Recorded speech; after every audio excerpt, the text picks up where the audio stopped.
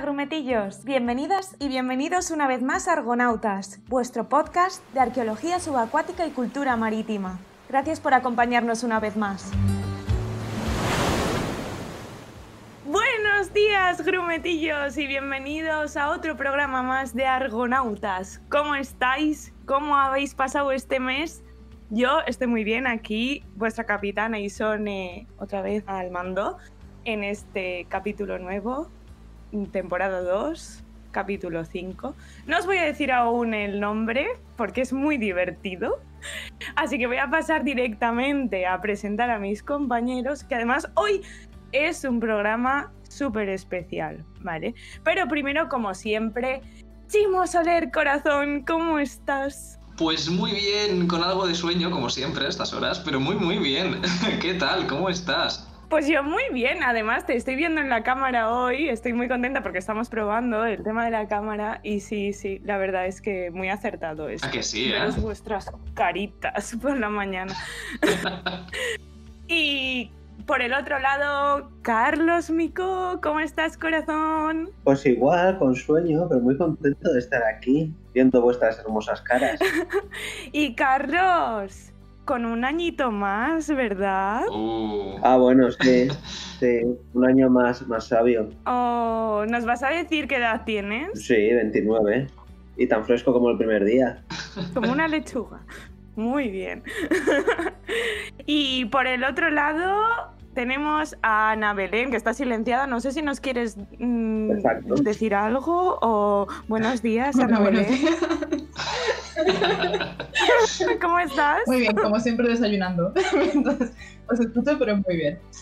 Eso es, hay que empezar fuerte el día. Muy bien, y como invitado especial hoy... Eh, bueno, mm, puedo decir el nombre entero, pero no sé si lo voy a pronunciar bien porque como soy de otro sitio, como sabéis, pues voy a intentar hacerlo bien, ¿vale? Eh, si lo pronuncio mal o lo que sea, por favor, me lo dices porque a mí me duele mucho cuando dicen mal mi nombre, ¿vale? Entonces, Francesc Gasco Yuna. ¿Lo he pronunciado bien?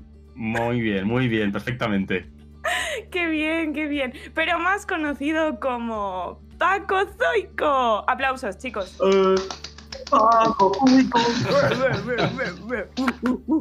USA, USA. Bueno, creo que Paco no necesita presentación, pero bueno, yo por si acaso lo que he hecho ha sido un eh, copia-pega de tu bio de Twitter, ¿vale? Ah, pues, qué peligro. Así que lo voy a leer tal cual. Y cualquier cosa, pues tú añades o me dices, mira, la verdad es que mm, yo soy mucho más que esto, o no, me, me ha sobrevalerado y sone, tal, ¿vale? Entonces, en tu bio pone doctor en paleontología, profesor de la Universidad Isabel I, Jurassic fan, divulgador científico e investigador de dinosaurios en la UNED. ¿Es todo correcto? Es todo correcto, todo absolutamente correcto, sí, sí, tal cual. ¿Quieres añadir algo más aparte de, bueno, eh, cuéntanos, tienes un canal de YouTube, tal, que es Sí, básicamente un poquito de lo más, lo, más, lo más visual, lo más visible para todo el mundo siempre es lo que haces en redes, ¿no? Lo que más ruido hace. Y es eso, que tengo un canal de YouTube eh, que, en el que pretendo o intento que normalmente siempre haya vídeos constantemente centrados en paleontología sobre todo. Eh, porque básicamente es mi área de conocimiento en la, en la que me siento más cómodo, pero bueno, siempre meto temitas un poco más relacionados, algún tema de geología, algún tema de biología, eh, algún tema de prehistoria. Y no sé, intento que sea un poco mi, el lugar des- desde el que yo pues eh, hablo de lo que me gusta, siempre con un, con un objetivo divulgativo o didáctico, que es un poco es un poco a lo que me dedico también fuera de YouTube, con lo cual intento que esto ya no solo sea una plataforma de contenidos para consumir online, sino también intento que sea un poco mi currículum en constante actualización o mi portfolio, ¿no? Que la gente sepa pues cómo puedo comunicar o, co- o qué tipo de cosas, qué tipo de contenido soy capaz de crear para que luego me contraten y me den de comer, claro. Que eso es importante. O sea, necesidades básicas. Claro que sí. Pues hoy hablaremos un poquito más de eso y, y si hay que entrar en debate, entraremos en debate, no pasa nada.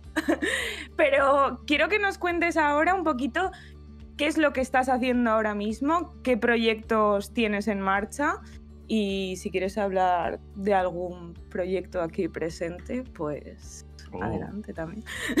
Bueno, pues ahora mismo me pillas inmerso eh, de pleno en el segundo trimestre de, de este curso, eh, con lo cual ahora mismo es, es en este segundo trimestre cuando mi asignatura está en marcha. Mi asignatura en la universidad es una asignatura dentro de un máster oficial en divulgación científica, que es una asignatura... ¿El nombre de la asignatura en sí? El nombre de la asignatura en sí es el ejemplo de la investigación en dinosaurios, porque es un máster en divulgación científica y es una optativa en la que las personas quieran especializarse en temas de paleontología, pues eligen mi asignatura optativa y allí pues ven ejemplos de divulgación en paleontología, pero también tienen una formación básica en paleontología y en dinosaurios por si este máster lo están haciendo eh, viniendo ellos o ellas de un trasfondo académico diferente y necesitan cierta formación básica, ¿no? De manera que es una asignatura de paleontología más o menos básica, de dinosaurios más o menos eh, a nivel básico, y luego también de, de ejemplos de, de cómo ha sido, en, digamos, del último siglo, cómo han sido los grandes hallazgos y cómo se han dado a conocer, ¿no? Entonces, ahora mismo estamos eso, en el segundo trimestre que empezó el, después de Reyes, iba a decir el día 1 de enero, pero el día 1 de enero no había nadie Y este trabajando. podcast, a saber cuándo sale, entonces Pues bueno, igual estás ya en el cuarto trimestre cuando se publique. pues entonces ya estaré más libre, porque se habrá terminado esto. Vale. Entonces ahora mismo estoy con eso, con la asignatura en marcha, que ser una asignatura, bueno, ahora mismo casi todo es online, pero esta, esta Ujú. universidad como tal es online, con lo cual todo funciona de una Vale. manera virtual y telemática. Así que estamos pendientes todo el rato de estar subiendo las unidades didácticas, de corrigiendo exámenes, de, o sea, corrigiendo trabajos. Aún, aún no estamos con exámenes, menos mal. Hacia final de trimestre ya hablaremos. Pero bueno, estamos con todo eso. Por otro lado, estoy ahora mismo con un proyecto de un museo local que estamos montando en un pueblecillo de Valencia, en Benajever. Aún estamos en las primeras fases, aún estoy yo recopilando la información y creando lo que es el discurso museístico y dándole forma Ujú. a los contenidos. Y creo que Carlos estuvo hace poco, ¿verdad? Visitándolo. Antes has comentado algo. ¿Qué te pareció? Se- sería otro museo, porque el que, el que yo te Ah. digo está, estamos aún creándolo. Vale, vale, vale. Culpa mía. Sí, sí. Sí, sí, sí, pero Paco ya, ya, ha hecho trabajos en otros museos, en el Museo de Ciencias Naturales de Valencia, que está en Viveros. Si lo visitáis, podréis ver sus reproducciones de la sala de fauna del Pleistoceno sudamericano, el megaterio, el, el criptodonte, el armadillo gigante, el dientes de sable, etcétera, y también hay un saurópodo por ahí. ¿Verdad, Paco? Sí, sí, así es. Y, y es curioso porque yo me había encargado hasta ahora de hacer contenidos para museos a esa escala. Eh, me refiero a hacer reconstrucciones, hacer ilustraciones, incluso hacer igual eh, paneles con una ilustración mucho más elaborada de un ambiente antiguo, de un paleoecosistema, digamos. Pero es que a lo que me estoy enfrentando ahora es a crear como tal el museo, los contenidos, hasta de estar yo hablando con los proveedores de las vitrinas. Entonces digamos que esto es toda una aventura nueva que por suerte la estamos haciendo con tiempo, con mucho tiempo. Así que va poquito ¿Cuándo a poco. está planeado la apertura del museo? La cosa es que en principio ya, ya queríamos haberlo abierto para 2020, pero 2020 fue una, una partida de Jumanji muy importante. Entonces, entonces eh, como la partida de Jumanji continúa, ahora mismo se baraja que se inaugure para mayo, Vale. una vez pasada Semana Santa y todo, pero claro, veremos cómo queda, porque encima en la comunidad valenciana, como estamos también con las cifras que estamos. No, yo Mm. no me atrevo ni me quiero permitir el lujo de hacer planes. De hecho, me sorprende mucho cuando la gente hace planes sobre inauguraciones o sobre cosas presenciales como si viviéramos aún en 2019. Guau, Totalmente, sí, sí. Sí, Yo sí. el único evento que tengo así en mente es un concierto el 16 de abril, pero que no tengo mucha fe, la verdad. Entonces, bueno. ¿Verdad? Es que cosas que tienen, que tienen lugar en abril o en mayo yo aún no las veo como, como algo Claro, pla- plausible. Y, y vuelvo a repetirlo, este podcast seguramente se está emitiendo en abril, así que quiero mandarle un saludo a la Isone del futuro y, y cuando la esté escuchando esto me reiré mucho porque seguramente no estaré en el concierto. Bueno, seguro que cuando lo escuchemos esto dentro de un mes o dos, cuando esto se emita o cuando sea, nos reiremos mucho de, de- de las cosas que estábamos diciendo, ¿no? Sí, sí. ¿Qué más cositas? Cuéntanos, ¿qué más ¿Qué cositas? más cositas? Pues intento sacar tiempo para seguir con mi, con mi canal y con, bueno, también con el podcast que tengo con dos compañeros, que es un podcast de, de dinosaurios y paleontología general, eh, que también trabajamos. ¿El nombre del podcast? Pues se llama Dinobusters, como Ghostbusters, pero de dinos. Y básicamente el nuestro es, el nuestro es mensual y nos reunimos de vez en cuando, grabamos, se nos va la olla, se nos va muchísimo de tiempo. Aquello es un, un desastre. O sea, hicimos el último episodio que era el episodio 50, lo hicimos especial con invitados, emitiendo por YouTube y aquello fue un desastre. O sea, parecíamos streamers porque después de tres horas dijimos, bueno, ¿qué tal si vamos cortando? Una locura. bueno, pues ahí lo dejamos, Dinobusters, Sí. para que lo escuchéis. Y, y no sé qué más decirte. Bueno, también, también estoy evidentemente con vosotros, entre manos, con, con Ancla. Exacto. Así que digamos que es, es un- una sensación bonita, a la par que un poco, eh, con un poco de vértigo, el tener tantos proyectos abiertos, tantos frentes abiertos, te da cierta ilusión de ver cuál va a llegar primero o, o cuál va a tener un poco más de Mm. luz verde. Es, es muy curioso porque más de una vez lo, lo hablaba también con Chimo, que me, me acabo metiendo en fregados siempre del, del mismo estilo, ¿no? De, pues queremos excavar en esta, en, por ejemplo, estamos en el proyecto de la cueva de los Toriles, que estamos buscando financiación para poder excavar. La de excavación ya la tenemos, eh, porque hicimos un crowdfunding y demás, pero estamos como siempre a la búsqueda de, de también un poco de apoyos para poder trabajar en la cueva y demás. Y aquí igual, ¿no? También buscando apoyos para ver si podemos también eh, hacer nuestras tareas de tanto de excavación como de, Claro. de puesta en valor. Y es como, qué emoción estar en tantas cosas a la vez y qué vértigo también porque todo está pendiente de un hilo, ¿no? Sí, es un azote de realidad. Sí, sí. Lo de la búsqueda de financiación es un, tema Sí, que, final. mira, Chimo tiene mucho que decir al respecto. Sí, es, eh, es complicado y, y en- en- no quiero que esto suene pues como a una crítica y no descarnada, pero eh, en España es más complicado que en otros sitios y eh, lo sabéis, los, eh, los investigadores las investigadoras en España se topan con una realidad que a lo mejor en otras latitudes no hay y es que hay unos recursos muy muy concretos y como hablábamos, como dice no, Paco, un día yo en un directo tuyo de Instagram, si no recuerdo mal, Sí. eh, que decías, ¿no? Es que hay como una especie de embudo y todos, eh, hay X personas que están en el embudo y todo pasa por ahí. Porque hay tan poco dinero que al final, pues, quien caza el dinero es el que tiene más capacidad eh, de, de conseguirlo, ¿no? Y, no- y no somos nosotros que somos gente, ¿no? Pues con, eh, con unos recursos muy limitados y, y que realmente, entre comillas, no somos nadie, ¿no? Dentro de- del mundillo científico. Eh, entonces es complicado. Eh, Carlos, por ejemplo, que es eh, un espíritu aventurero y, y- y se codea con gente muy top de, de la exploración, sabe que en otras latitudes, ¿no? Pues eh, la cosa es un, poqui- un poquito, aunque es un poquito más, más diferente. Hmm, Pero bueno, cam- lo cambiaremos. Hmm, Cambiaremos la, Eso es. en eso estamos, exacto.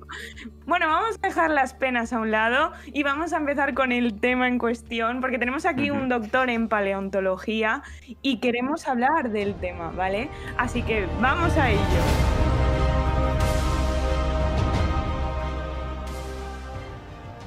Y bueno, eh, yo cuando voy, a, voy, a, voy a contaros todo esto de a- cómo ha venido al tema, ¿vale? Eh, yo dije, voy a empezar a pensar el título para este episodio y tal y cual, y dije, como soy muy graciosa y muy avispada, se me ocurrió un título maravilloso, que era Dinos Marinos. Os encanta. Lo sé, Totalmente. lo sé, os habéis quedado sin palabras, lo sé. ¿Qué pasa? Que de repente me vino una hostia de realidad. Lo comenté con mis compañeros y me dijeron, Isone, no existen los dinosaurios marinos. Y yo, ¿qué? No. Entonces he cambiado el título y en vez de dinos marinos es con signo de interrogación. ¿Dinos marinos? ¿Vale? Es puro, Entonces, es puro Paco, clickbait. creo Claro. Aquí haciendo marketing, ¿sabes? Quiero que Paco nos expliques, ¿existen o no existen los dinosaurios Eh, marinos? contestando exactamente a la pregunta que me haces cerrada, a día, a día de hoy, dinosaurios marinos no conocemos ni uno. Oh, Pero ni uno. Lo que pasa, lo que pasa es que durante, durante la era de los dinosaurios, durante el Mesozoico como tal, no solo había dinosaurios. Entonces había otros grandes reptiles que digamos que eh, también alcanzaron grandes tamaños, eh, fueron muy diversos y habitaron diferentes ecosistemas. Los ecosistemas marinos estaban eh, dominados, por así decirlo, por una serie de diferentes linajes de reptiles marinos de gran tamaño. Y esto es lo que mucha gente suele confundir con dinosaurios. Pero porque es, es algo muy simple y es que normalmente Vale. a, a nivel popular, eh, de hecho ni siquiera a nivel didáctico, creo que no se nos enseña como tal en el colegio, que los nombres que reciben los animales o las plantas no solo son un nombre como una etiqueta, sino que responden a, a una agrupación seria que tiene que ver con su, con su parentesco. Vaya, que tú no llamas dinosaurio a cualquier reptil grande del pasado extinto. Simplemente tiene que, cumplir, tiene que cumplir una serie de características concretas, Vale. son de un linaje concreto. Entonces, eh, lo digo porque hay mucha gente que hasta se me, se me enfada, en plan de, ¿y por qué no lo podemos llamar dinosaurio? Yo, pues, ¿a ti te podemos llamar orangután? vale, vale. pues no lo eres. Pues el, o- el otro igual, ¿no? Quiero decir, el, el dinosaurio, eh, lo que son los dinosaurios están definidísimos, tienen una serie de características anatómicas comunes y, y estos reptiles marinos no las cumplen. Y de hecho, los reptiles marinos ni siquiera son un linaje, son varios. Pertenece a, va- a- a varios linajes. Los reptiles marinos son eh, simplemente tienen la característica común de que se adaptaron al medio acuático y lo, y, lo hicieron muy bien, se adaptaron muy bien, tienen una adaptación brutal al medio acuático. Pero cada uno, bueno, cada uno igual no, pero digamos que hay varios linajes de reptiles marinos y cada linaje es de su padre y de su madre. De hecho, ni siquiera forman un grupo como tal. Entonces, la respuesta es dinosaurios marinos como tal no conocemos, pero lo que la gente suele llamar dinosaurios marinos eh, son reptiles marinos y sí que existieron. Vale, pues nos quedamos con reptiles marinos. Eso no rima tanto, pero bueno, no, no pasa nada. Eh, hemos hablado de linajes. Ponnos un poco en contexto, en el contexto histórico, de qué época estamos hablando cuando hablamos de estos reptiles marinos. Bueno, pues eh, estamos hablando de reptiles que aparecen hacia mediados del periodo que nosotros llamamos en paleontología y en geología como Triásico, que estamos hablando de hace unos 250 millones de años, y que se extinguen hace unos 66 millones de años, a finales del periodo que nosotros llamamos Cretácico, y que es también cuando se extinguen los dinosaurios. Es que encima tienen la, la- la mala leche de extinguirse todos a la vez, con lo cual aparecen a la vez y se extinguen a la vez es- y, y- y tienen ese aspecto ¿no? de reptil gigante, con lo cual es normal que, que es, yo creo que es sinceramente normal que mucha gente los confunda si no tienen esa base de conocimientos de, de- de zoología o de paleontología. Es completamente normal. Muy bien. Pues Carlos, te voy a dar paso para que hagas una serie de preguntitas. Vale. Pues nada, Paco, doctor, ilústranos un poco. Uno de, de estos reptiles marinos, quizás ahora más popularizado por, por la saga de Jurassic World Sí, y que a mí siempre me ha gustado mucho desde pequeño, sí, es el mosasaurio. sí, señora. Que, cuéntanos qué es el mosasaurio y cuáles podrían ser sus descendientes vivos más, más directos, que la gente probablemente... Pues mira, me encanta que pre- precisamente menciones al mosasaurio, porque así como la mayoría de reptiles marinos, digamos que no tienen parientes cercanos, porque son linajes que se extinguieron por completo, los mosasaurios no es que el linaje como tal de los mosasaurios tenga descendencia hoy en día, pero pertenecen a un linaje que sí que sigue, sigue vivo hoy en día. Básicamente los mosasaurios eh, son, reptiles marinos cretácicos, o sea, aparecen, si aparecen será a finales del Jurásico, pero son predominantemente cretácicos. Digamos que vivieron durante ese último periodo entre hace 145 y hace 66 millones de años. Y básicamente su aspecto es el de un enorme lagarto acuático, solo que le cambias las manos por aletas, digamos que las, las, las especializas para que asemejen a aletas, y igual con la cola la, la aplanas un poco para que sirva un poco de aleta caudal. Pero básicamente su aspecto es de lagarto. Y de hecho, sus parientes cercanos, eh, sus parientes más cercanos son los varanos. Eh, y eso es una cosa que yo aprendí a, a- a golpe de experiencia personal, porque yo recuerdo que estaba en cuarto de, de la licenciatura en biológicas, yo soy mayor y hice licenciatura, no hice grado. Y teníamos un trabajo práctico que hacer en la asignatura de zoología de vertebrados en la que teníamos que básicamente nos daban un, un, un espécimen que por, pues, lamentablemente ese espécimen de vertebrado pues, había fallecido o en un zoológico o en un centro de recuperación de fauna o algo y se le daba el uso de darlo a la ciencia y la gente de la universidad pues eh, lo usaba en sus prácticas. Y esta práctica lo que teníamos que hacer era básicamente eh, hacer un estudio del ejemplar que nos daban, hacer una disección, eh, tratar de determinar sexo si podíamos, y después, como última, como última parte de ese trabajo, y, y lo que era más visual, era básicamente montar el esqueleto. Wow. Con tan buena suerte de que hubo un varano y yo me lo pedí.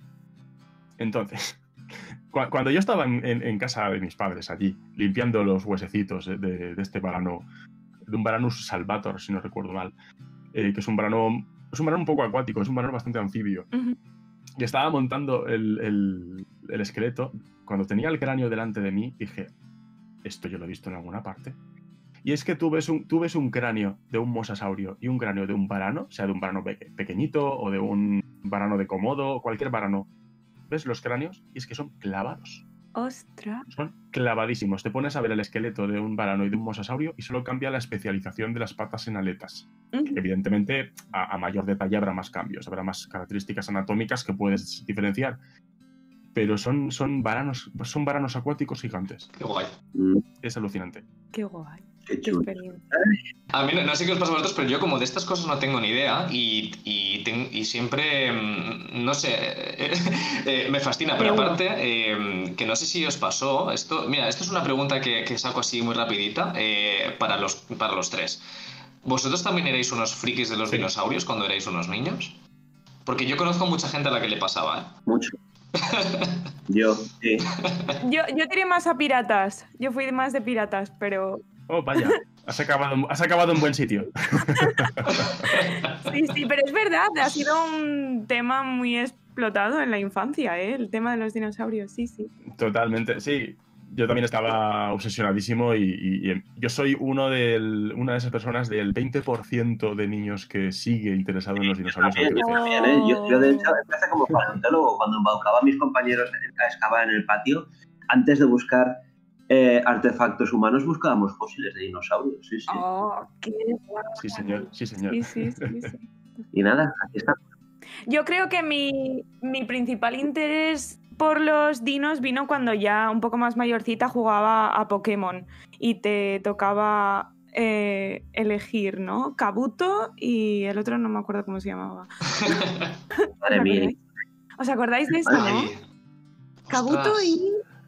Sí, sí, sí, sí, sí.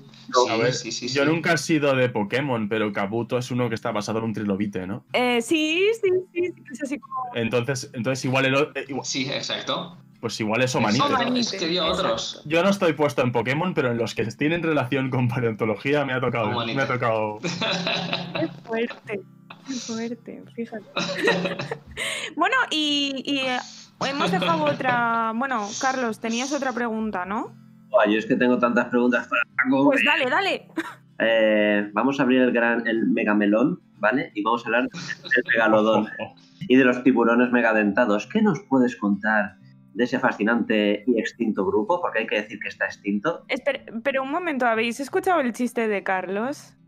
O sea, es que creo que no se Sí, ha sí, sí, apreciado del todo, pero ha dicho megamelón. Hashtag Megamelón. O sea. hashtag Megamelón. Esto, es- Adelante, esto es, adelante. esto es oro puro, esto es oro puro. A ver, pues, la- pues la cosa es que los tiburones como tal aparecen en, en el periodo devónico, que es hace ya la tira, pero la tira de años. Y antes estábamos hablando de unos 250 para el inicio del, del- del Triásico. Estamos hablando de- del devónico, que es hace unos 400. Los tiburones aparecen, digamos, temprano en lo que es la historia de la vida y la historia de los vertebrados. Y son los primeros grandes depredadores del mar, junto con un grupo de peces acorazados, eh, de los que hoy... Los placodermos. Sí, señor, sí, señor. Sí, señor. Pues eso, entonces aparecen los, los tiburones muy temprano y digamos que tienen una radiación eh, inicial bastante, bastante bestia y aparecen formas bastante curiosas. Aparecen formas eh, que incluso tienen como sabéis que los tiburones cambian, como todos los vertebrados, menos los mamíferos, cambian constantemente los dientes y de hecho los tiburones tienen como varias filas de dientes. Pues incluso hay un tiburón del, del devónico, creo que era, o de, sí, del, del devónico, que es el licoprion, en el que digamos que estas filas de dientes forman una especie de, de, espiral, es una, es una, cosa bizarrísima. Digamos que al principio, en esta radiación evolutiva, los, tiburones de esta era, del Paleozoico, se volvieron un poco crazy. Eh, la radiación evolutiva fue muy loca.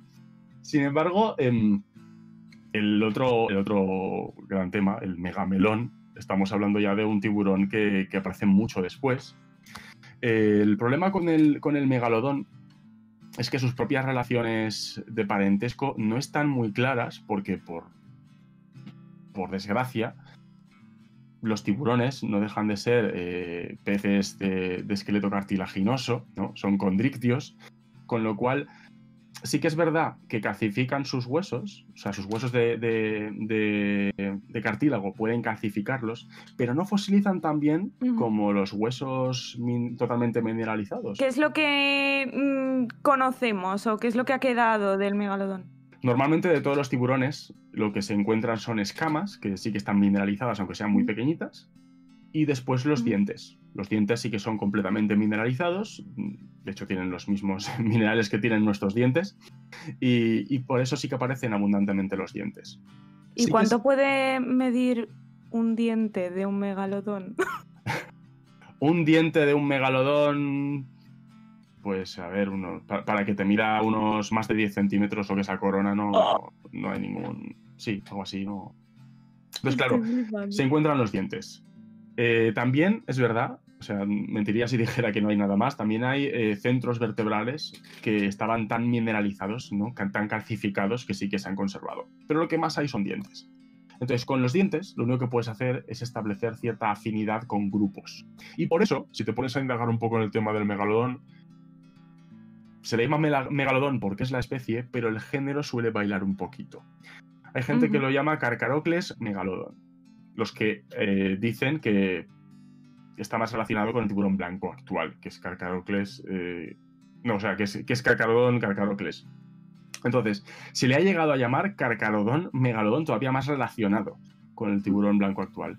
Y también hay algo que está bastante más extendido, que es eh, otra clasificación que se le ha dado más recientemente, que es Otodus, eh, megalodón. Uh -huh. Entonces, dependiendo de, de, de, de, a quién sigas un poco, parece que esté más emparentado con el, con el tiburón blanco actual o, o menos, uh -huh. ¿no? De manera que, que Megalodón como tal sí que formaría parte entonces de, de, un linaje que no está completamente extinto, porque tenemos al tiburón blanco actual. Pero bueno, en, o sea, si tenemos al tiburón, si lo consideramos como pariente muy cercano del tiburón blanco actual, su linaje no estaría extinto, estaría el tiburón blanco actual. Pero si lo consideramos un otodóntido, por así decirlo, mm, sí que sería un linaje completamente extinto. Vale. Pero como solo tenemos los dientecitos, está complicado. Lo que decía Carlos, eh, y me, me, ha hecho mucha gracia que, que lo diga, ¿está extinto el megalodón? Está extintísimo pero extinguidísimo. Sí, Esta... hay, hay, que, hay, que, recalcarlo. Parece mentira, pero. Parece mentira, sí, sí que... porque se, se, popularizó hace unos pocos años un falso. La peli. Un, no, ya no solo la peli. Un, hay, un falso, ah. hay un falso documental. Perdón. Hay un falso documental que intenta probar que existe. Y es un falso documental porque en cuanto empiezas a verlo te das cuenta de que todas las pruebas están fabricadas y hechas con CGI, como si fuera una peli de, de la tarde. Con... ¡Casa! Totalmente, pero no sé por qué yo he de, he de, decir, a la mayoría de gente que, les vi, que, se les, que vi que se tragaban con patatas lo que decía ese falso documental, era gente muy joven, eran niños que estaban locos por el tema y se veían el, el, el documental y, y, decían, wow, y se volvían locos, ¿no? Entonces, eh, mucha gente sigue creyéndolo porque lo vieron hace años cuando eran más, más, más jóvenes, pero hoy en día tú te ves ese documental y no cuela de ninguna manera porque no hay ninguna, es un problemón, ni, eso, ninguna está... prueba concluyente. Sí, sí, es un problemón, wow. es un problemón. Sí. Además, está, está, está, extinguidísimo porque además hay, hay, un indicador de que está extinto y son las grandes ballenas. Básicamente, uh -huh. las ballenas no llegan a alcanzar grandes tamaños jamás en la historia de, de, todo el Cenozoico, de toda la era de los mamíferos, hasta el punto en el que se extinguen los megalodones. Cuando se extinguen los megalodones, ves que despuntan en tamaño las ballenas.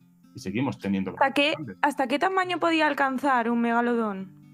Pues todos son estimaciones porque ya te digo, a través de dientes pues está la cosa bastante, bastante complicada, pero las estimaciones pasan de los 20 metros, que podría haber llegado a alcanzar 20, 20 metros o más. Entonces, es un, es un señor bicharraco y a la gente, sobre todo a la gente que a priori está muy interesada en dinosaurios y en vida prehistórica, lo que siempre más les ha llamado la atención son las especies que tienden a ser o más monstruosas, porque tienen una, un- una anatomía más rara, o que tienen un tamaño monstruoso. Entonces, un tiburón de por sí ya es un animal que nos infunde mucho respeto y mucho temor. Si encima le, pones ese tamaño, pues claro, eso hace que sea súper exitoso, digamos, desde un punto de vista popular, ¿no? O sea, un tiburón gigante, eh, pues como un baptisterio, ¿no? ¿A quién no le va a gustar? Baptisterio romano poliocristiano. Exacto. ¿A quién no le va a gustar un megalodón de, de 20 metros? ¿A quién no le va a gustar? Hombre, sobre todo, sobre todo a, Ja- a Jason Statham. A Jason Statham, exacto. Luego hablaremos un poco más de esa fetichización de los monstruos marinos y todo eso. Pero eso, siguiendo más con otro tipo de peces y tal. Sí. Eh, Carlos. Sí, mm, vámonos a, a peces más, más modestos, ¿no? Pero no por ello menos modestos en tamaño, que no por ello menos interesantes. Eh, yo sé que hay algunos peces actuales que tienen algunos rasgos eh, prehistóricos. Estoy pensando en los saltarines del fango, peces pulmonados, etcétera. ¿Qué nos puedes contar de estos fascinantes pecitos, Paco? Pues mira, eh, te puedo decir que yo personalmente los considero más interesantes que el megalodón. Porque el megalodón al final lo único que tiene es que es un tiburón grande. Bien, Paco, bien. Pero, pero te vas a estos peces y, y tienen características de las que podemos llegar a considerar que son formas transicionales, ¿no? Son evolución viva, ¿no? Eh, hay un concepto muy erróneo popularmente y que se agarran mucho a este concepto erróneo los, los creacionistas o los negacionistas de la evolución y es que por, por- por reducirlo al absurdo dicen que nosotros no podemos venir del mono porque hay monos Ah, como, co- como si la existencia de, de- de un paso evolutivo, digamos, o de, de- de una especie de tu mismo linaje, pero con unas características diferentes, eh, estuviera reñida con, con la- con tu propia existencia, ¿no? Hoy en día la evolución no la consideramos como una línea recta, un- como, como una cadena con eslabones, ¿no? O sea, un eslabón no aparece porque desaparezca el anterior. De hecho, no hay eslabones en, en biología evolutiva hoy en día. Se habla de radiaciones, de diversificación. Entonces, eh, me gusta mucho que, que- que sigan existiendo estos, estos peces, porque la verdad es que para mí son eso, son como formas transicionales. Son eh, peces, pero que ya, digamos, no me gusta añadirle el apelativo de ya, porque parece que estoy añadiéndole una finalidad y no hay ninguna finalidad en la evolución, no hay dirección alguna. Pero quieras que no, desde un punto de vista totalmente objetivo y sin hacer ningún tipo de juicio, los ves como queriendo ser algo más, ¿no? Como lucha por tus sueños, intenta salir del agua. Es es- es súper curioso, es súper curioso. Sí, sí, muy, muy Mr. Wonderful todo. o sea que puede que ese saltarín de fango que te aparece en el Animal Crossing eh, evolucione a otra cosa en un futuro. O no, Sin porque... ¿O no? O no, es que nunca se sabe. Qué guay. De, de hecho, es curioso porque eh, los peces pulmonados o dipnos, eh, o por ejemplo los telacantos, los telacantos son un animal que también, un pez que se consideró extinto durante mucho tiempo hasta que se pescaron en la costa de, de África y demás, y, y fue como, ahí va, pero estos bichos siguen vivos y los dábamos por extintos desde hace mucho tiempo. Eh, pues eso, los dipnos y los telacantos pertenecen a un linaje de peces que son los sarcopterigios, que viene a significar aletas eh, musculosas o aletas carnosas. De hecho, tú les ves las aletas y ves que tienen chicha en la propia aleta. El otro linaje es el de los actinopterigios, que tienen aletas de, de fibras, de fibrillas, ¿no? O sea, ves las típicas aletas de pescado de cuando vas a la pescadería y ves aletas. Que eso no, no, no tiene chicha ni tiene nada, eso no te lo puedes comer, básicamente. Nah. Pues, pues eh, los, a los arcopterigios, en sentido estricto y en sentido estrictamente evolutivo, seguimos perteneciendo nosotros. Porque somos descendientes directos de sarcopterigios, porque estas aletas carnosas o musculosas son las que dieron lugar a las extremidades de los vertebrados terrestres. Pero, curiosamente, los saltarines del fango no son sarcopterigios. Los, los saltarines del fango son actinopterigios, son peces de aletas eh, eh, fibrositas sea, no, no son aletas mm, musculadas o carnosas, y sin embargo son capaces de respirar también fuera del agua. ¡Wow! Aunque en el caso de los saltarines del fango, según tengo entendido, es una combinación también de la vejiga natatoria con alguna respiración más bien eh, de la propia piel, ¿no? Parecida a la, a la respira- a la respiración cutánea que tienen alguna- algunos anfibios. Entonces no acaba de ser exactamente la misma, el- digamos, el- la misma estrategia, pero sin embargo han llegado a algo parecido, ¿no? En cualquier caso, a mí me parecen una pasada. Te escucho y me da la sensación de como cuando eres pequeño y tienes tu pequeño juguete de hacer experimentos. Y empiezas a probar cosas, ¿no? De que, de que la evolución tenía un juguete de experimentos. Y dice, pues a este le voy a poner las aletas tal, pues le voy a poner pulmones de esta manera, a ver qué pasa, a ver si sale del agua. Eh, no sé, me parece, me parece muy guay. El cubata que voy a hacer un pez que respire aire y que... Sí, sí. Aguántame el cubata. Totalmente. Pues muy bien, vamos a pasar a, otra, a otro tema. Eh, Chimo, adelante. Vale, eh, tengo yo aquí un par de preguntitas, ¿vale? Que, que quería hacerte. Y hablando de evoluciones, ¿vale? Eh, creo que también es interesante hablar de, de extinciones. Porque antes del ser humano, eh, todos tenemos en mente la extinción de los dinosaurios, ¿no? El tema del meteorito, etcétera, etcétera. Pero sí que es verdad que eh, siempre lo imaginamos en el ámbito terrestre. En el mar, ¿cómo se producen extinciones masivas? Es decir, por, por poner un ejemplo muy arquetípico, ¿no? Cuando cayó el meteorito, ¿qué pasó en el mar? Bueno, pues al final los ecosistemas marinos no son, en un sentido meramente funcional, de cómo funcionan, no son tan diferentes de los ecosistemas terrestres. Lo que pasa es que es muy visual para nosotros imaginarnos que en tierra firme, si se cubre la atmósfera o, digamos que hay más partículas en la atmósfera eh, y llega menos radiación del sol, nos imaginamos fácilmente a las plantas marchitándose.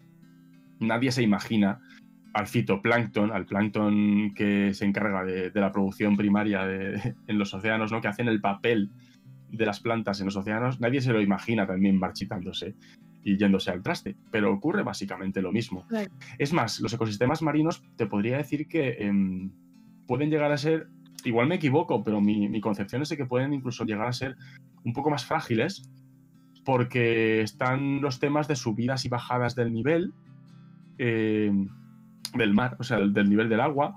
eh, y este tipo de cosas también puede cargarse de repente en ciertas adaptaciones. Hay muchas especies que están adaptadas a, medios arrecifales o medios más someros, medios más profundos.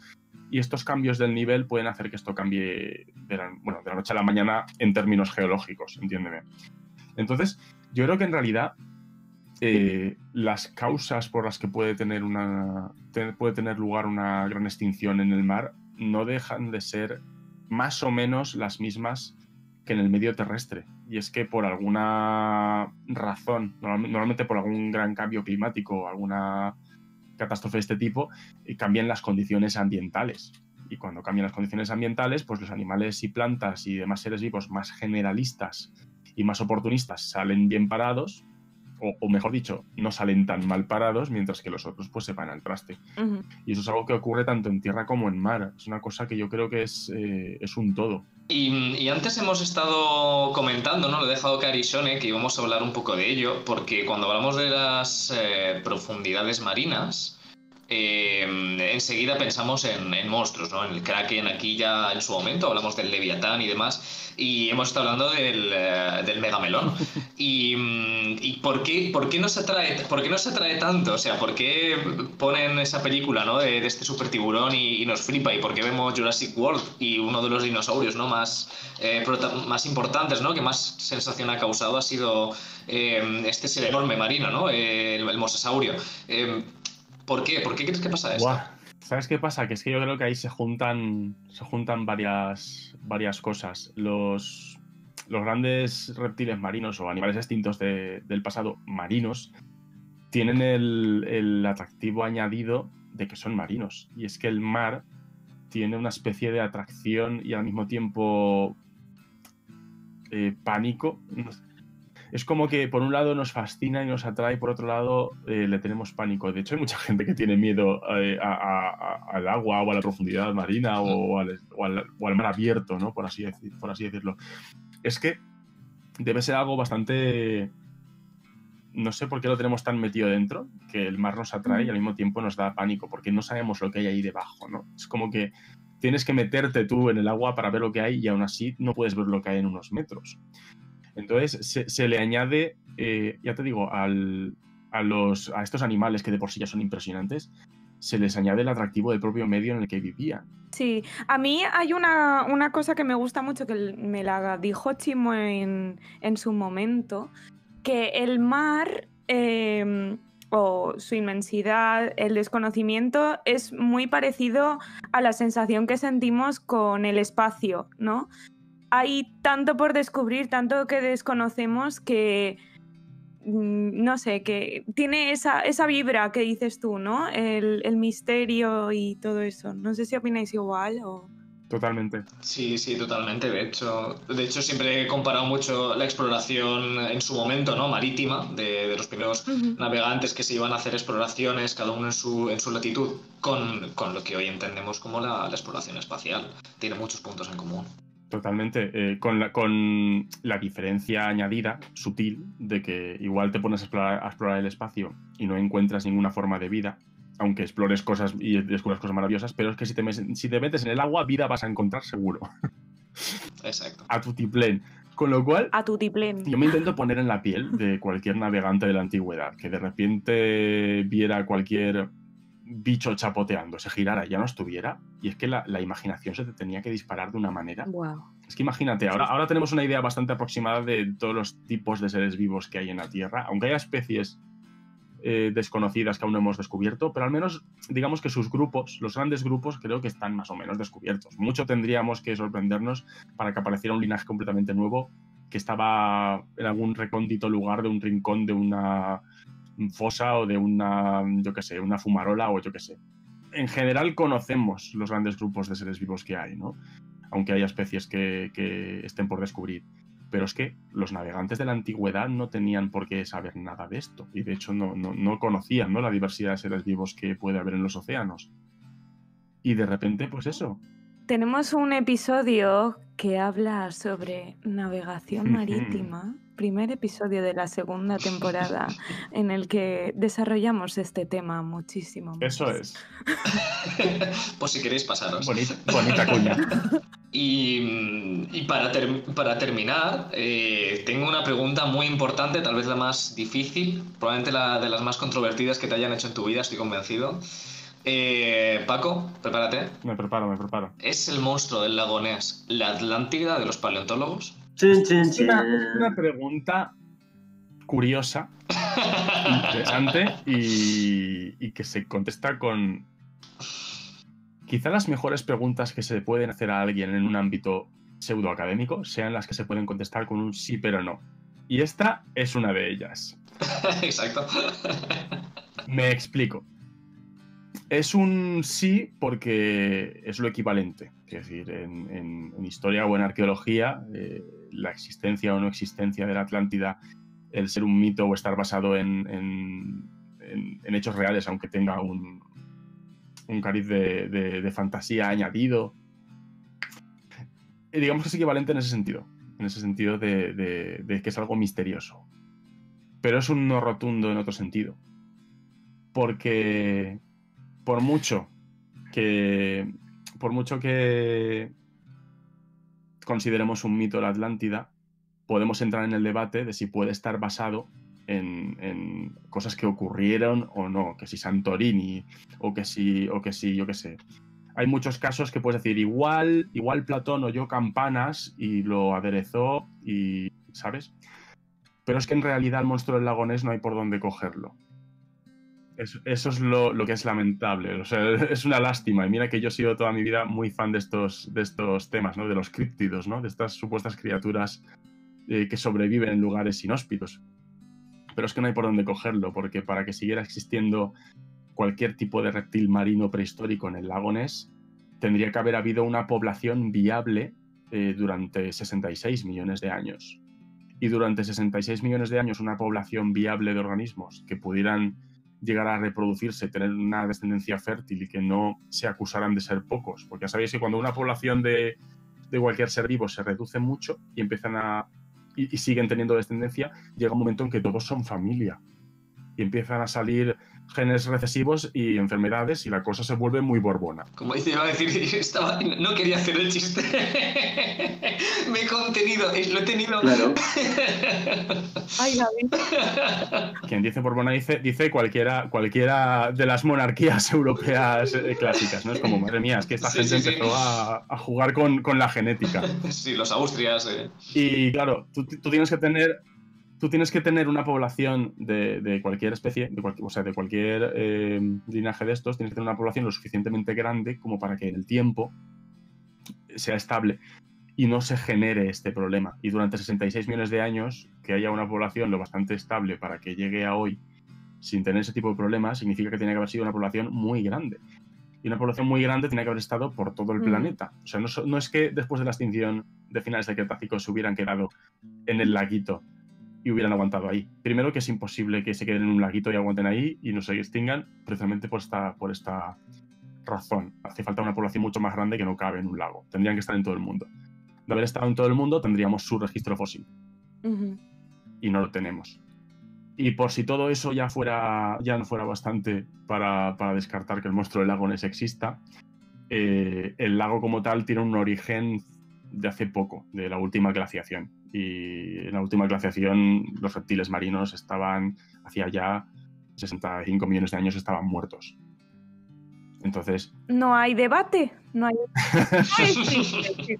y bueno, mm, lo que sí que hay debate, no, no lo hay, eh, la extinción del megalodón. Ahí os lo, os lo, dejamos, nos lo dejáis en comentarios y de verdad si sigue existiendo o no, si os ha convencido Paco o no, ¿vale?